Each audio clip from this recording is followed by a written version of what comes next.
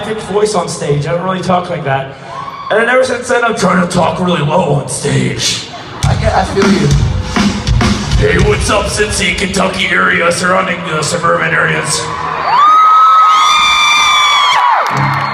Hey, I want you guys to know that if I take you to Panera Bread tonight, I'm not doing the two pick two shit whenever you pick two. I'm getting you the full sandwich and a side of soup, alright? Yeah. You're not getting half a sandwich, you deserve the whole It's thing. that kind of night. If we go to Chipotle, I'm getting you guacamole. I don't care if it costs a dollar.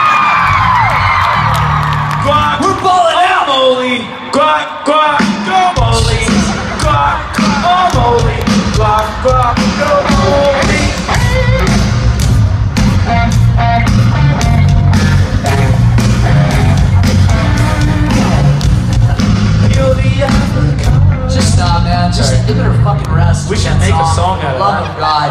Jack sings that song every single night on the bus when I'm trying to sleep, and it's painful because I am trying to make love to myself, and he will not stop distracting me with the visions of that woman singing about avocados and bananas and guacamole. And It's the worst.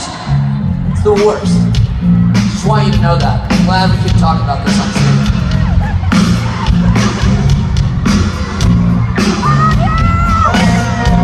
doing? Are you okay? Can I get you a cool lemonade or something?